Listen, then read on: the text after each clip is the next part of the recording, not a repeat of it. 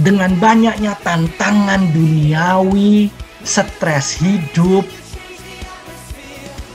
Tapi aku mau mengejar kekudusan supaya aku bisa mendengar suara Tuhan.